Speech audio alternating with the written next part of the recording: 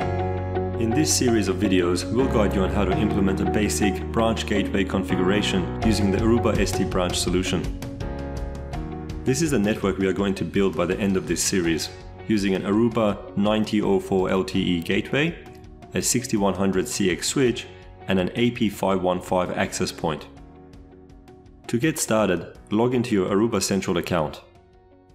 We are assuming that you already have Central login and appropriate branch gateway licenses. If not, please refer to our Aruba Central how-to videos and Introduction to Aruba SD-WAN solution. Before we provision our gateway, we'll create a basic configuration to get us started. Log on to your Central account and navigate to the Network Operations Center. Click on Organization, click on Groups. Groups in Aruba Central are used to manage your device configuration. Think of them as configuration template containers. As you add devices to a group, devices will inherit the group configuration settings. You can then further modify configuration on an individual device level. This makes it easy to scale and manage your network deployment and maintenance. Click on the plus sign to add a new group. Give it a name.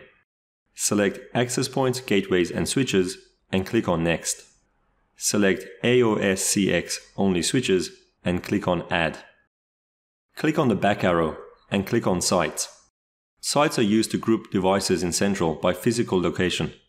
Sites are used as one of the primary navigational elements. For example, if you wanted to check which users are connected in a particular location or check on the health of all network devices in that location. Sites do not carry any device configuration settings. All configuration is done either through groups or at the individual device level. Let's click on New Site. Give it a name and address and click on Add. To start a config for gateways, select your newly created group in the context menu and click on Devices. Select the Gateways tab and click on Config. You'll be prompted by a Gateway Setup wizard. Cancel out of it as we'll configure our gateway manually. System IP is critical to your gateway operation. Each gateway will use one of the VLAN interfaces as its system IP. This interface is used to initiate gateway communications with network services such as Radius, syslog, TACACS, and SNMP. You can specify a static system IP for every gateway, or you can use Central to automatically assign system IP from a pool of addresses in each gateway group. This is the recommended option. Make sure you choose a range of IPs that are not used elsewhere on your network and that you have a sufficient number of IPs to cover the number of gateways you will provision into this group. Please note that this IP needs to be routable on your network. Note also that Central will create a new interface VLAN 4087 to be used as a system IP. Click on Save Settings. Click on the Model tab. Here we are going to specify the hardware model of our gateway. Each group can only contain devices of the same gateway model. You'll need to create a separate group for each gateway model you are using on your network. We are using the 9004 model with LTE. Click on Save to continue. Having an accurate time set is critical for networking devices we are going to set up a public NTP server with burst mode enabled and also set our time zone. DNS is another critical service. We'll get our DNS configuration from the ISP, which is the default setting. We'll also need to set up a local admin account on the gateway, in case we ever need to log in directly to the device using CLI. Make sure you select the super user role when adding the account. You can also specify Radius or TACACS authentication with a local user as backup but we'll stick with the local account for this lab. Click on Save Setting and move on to the LAN tab. Click on the plus button to add another VLAN. We will provision a management VLAN 1 to be used for our network devices. It will have a static IP, but we will configure the IP settings at a device level later on because they will be unique for each gateway. Check the IP DHCP server option. Again, this will enable DHCP server globally but we will set DHCP settings on the device level later on. Click on Save Settings to apply changes. Move on to the LAN ports tab. Here we are going to bind the newly created management VLAN to a GE0 interface. Click on the plus button. We'll call this our LAN port, leave it in access mode, and specify management VLAN as our access VLAN for this port. Click Save and Save Settings. Click on Advanced Mode. Select the Security tab and click on Apply Policy.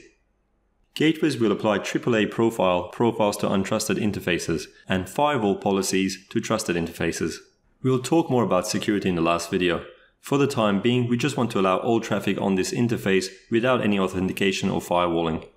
select interface GE0, check the trusted checkbox and click on Save Settings.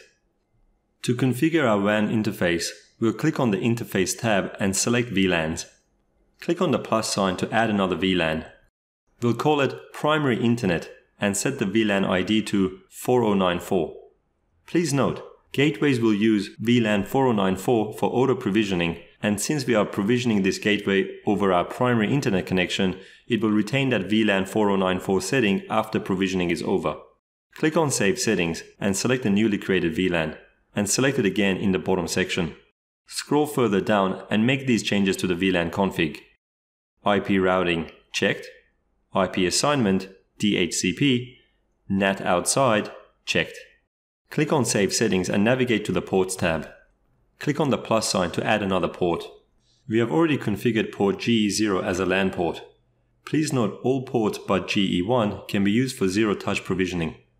We'll use port GE3 as our primary internet uplink and we'll also provision our gateway over it.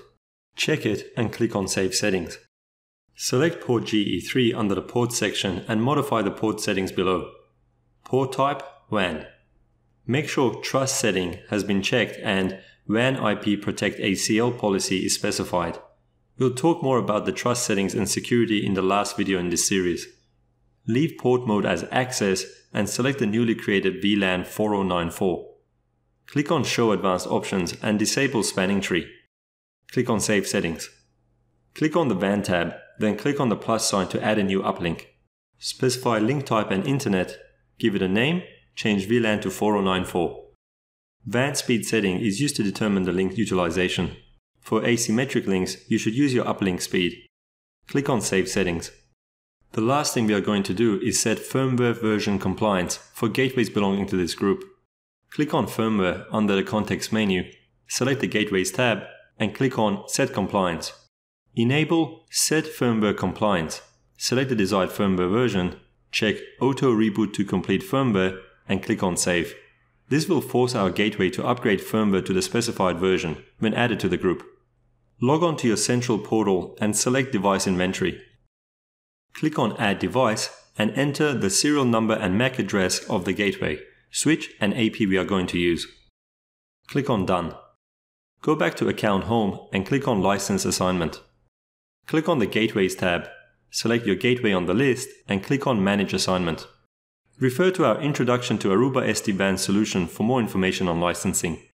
In this video, we'll be assigning the SD Branch Advanced license with security. Click on Update. Now we're ready to provision the gateway. We'll plug port GE3 into our internet router. Branch gateways have zero-touch provisioning feature enabled by default on all ports except port GE1. If you plug them into a network with DHCP service enabled, and they are able to connect to central provisioning servers over port 443, they'll try to auto provision assuming you have licensed them in central. When the gateway has finished booting up, navigate to Account Home, Network Operations Center. Change to Global Context. Navigate to Organization under the Context menu and click on Groups. After about 5 to 10 minutes, your gateway should appear in the list. This means the gateway has been provisioned and is communicating to Central. In order for our configuration to apply, we need to move this gateway into the group we created earlier. Expand the default group, select the gateway, and click on the Move Device button in the bottom right corner. Select our branch group as the destination group and click on Move. Our gateway will now download the config from the group and it may upgrade the firmware in order to match the firmware compliance policy we set earlier. Click Back and click on Site. Drag the gateway into the site we created earlier. This will make it easier for us to monitor it moving forward. Select our site in the context filter. Click on Topology.